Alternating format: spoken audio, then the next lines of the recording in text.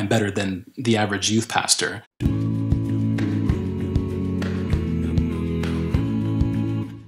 Welcome back to No Pro Worship. My name is David Wesley. This is actually episode number 13 in this weekly video series, and it has been my absolute pleasure to walk through some principles, strategies, tips, and tricks for helping develop in your worship ministry. I hope that throughout all these videos you've seen my heart for worship and my heart for small church musicians and singers. I love the fact that all you want to do is give your best to God and lead your people well when you gather together for worship. I believe strongly, and I've said it from the beginning, that I believe God's people deserve leaders that grow. And this video series is my way of contributing to that. So thank you very much for that opportunity. So today's video is an introduction to a little mini series that I want to do on the guitar and how it can be used effectively in a small church worship team. So my relationship with the guitar began around 2013 or so. And when I first picked up the guitar to learn it, it wasn't because I wanted to play it in front of people. It was because I wanted to understand the instrument and how I could lead guitar players more effectively. When I led worship, it was primarily with the piano. So with that goal in mind, I kind of approached the learning of the guitar a little bit differently. And I really wanted to focus on the, the strengths and the weaknesses of the guitar so that I knew what I could expect from my guitar players and what just might be completely unrealistic. And you know, looking back 15 years later, um, some of the expectations I had of guitar players before I really learned the instrument myself were pretty unreasonable. So if people ask me, you know, so how good are you at guitar or whatever, my joke is kind of, I'm better than the average youth pastor. Um, I should be a lot better than I am, uh, you know, 15 years on, but like I said, my goal was not to be a virtuoso performer, but to be able to lead guitar players well. So here we go. So this particular guitar I've had since about 2005. It is an electric acoustic, so I have an active pickup here where I can put in a battery and I have some controls for the tone of the guitar and um, just plug into the end there. I've used this guitar on a number of videos on YouTube and uh, generally you'll actually see uh, an external mic. That works better in recording to get a really sweet tone out of this guitar, but in, when you're on a loud stage, um, putting a microphone in front of an acoustic guitar doesn't work out terribly well.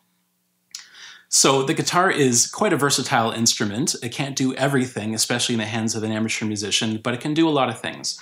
Um, primarily, it can be used to provide some harmonic context for a melody.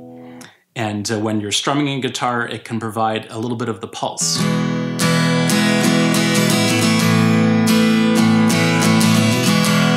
To help give you your count in the song. The guitar has a number of textures, including things like palm muting.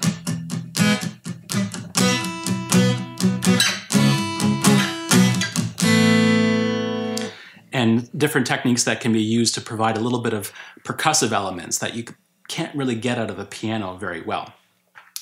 Um, there's also finger picking, which I won't demonstrate because I'm not very good, but this is a way to provide a little bit of texture, especially when it's used with other instruments, whether it's um, in the background of a scripture reading or, or a prayer. It can be quite beautiful. Now, some of the downsides of the guitar is that it doesn't have the same kind of sustain like you would on a piano with a damper pedal, especially an electronic one. So if I let this chord ring, an E chord, the open strings will keep going, but if I take my fingers off, it's only the, the three strings I didn't have my fingers on that keep going. So there are some, it can sound a little bit uh, choppy, especially with some difficult chord changes. Now, one thing that is quite different between the guitar and the piano is that there's actually only a certain number of keys that especially the amateur guitar player can play in. And those keys are C, D, E, G, and A. And any other uh, key that you need to play in, you can use a capo to go up one semitone so you can get to your F and your B flat and those other chords. And the other thing that's different about playing a guitar versus a piano is that in each of those keys, the, the shapes of the chords that you do with your fingers are quite distinct. And the result of that is that you actually get a very different sound depending on the key that, that you're playing in. So a key like E has a lot of open strings. And the key of G has fewer open strings, but uh, a lot of the strings will, um, your fingers don't move a whole lot. So there's very smooth transitions between them. And um, some key, some chords in, in certain keys you can't do without doing a bar chord, where you have to lay your finger across the, the whole fret there. And bar chords are the bane of beginning guitar players. And when you practice as seldomly as I do, they're difficult because your finger muscles get weaker, weaker and you don't have the calluses on your on your hand to uh, to give you the strength to do them properly. So many guitar players will try to play in keys that avoid bar chords, which is totally fair thing to do. But we can all grow in some areas, and bar chords is definitely an area of growth for me. So I came to understand that a bit because certain songs were written by guitar players on guitars, and the the key that the songs were written in have a can have a big effect on on sort of the, the shape of the song. And if you move the song into a different key, you can actually lose a lot of the feel. For example, Open the Eyes of My Heart was written um, in the key of E.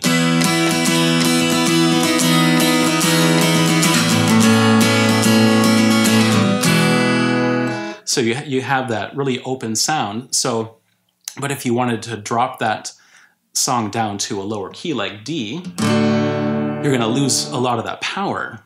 Um, so there are those considerations that you don't really have to think about with piano. One of the other downsides um, with a guitar is that uh, if you're not playing regularly, you'll lose the calluses on your fingers, and it is very difficult to play for an extended period of time without the, the thickening of the skin there. And uh, I found that I can't play guitar after I've given my kids a bath, after I've done the dishes, just because my fingers get softened up, and it's just absolutely torture but it is a, a great instrument. And when it's used in the context of the band and you accentuate its strengths and uh, try to make up for its weaknesses, um, it's a great instrument to have. It's quite versatile.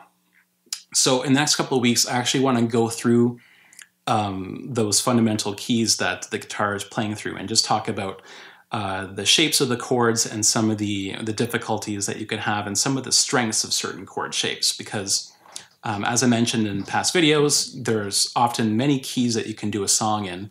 And when you're playing the guitar, you can choose to do that song in a, a number of different chord shapes depending on where you're going to put your capo on the neck of the guitar.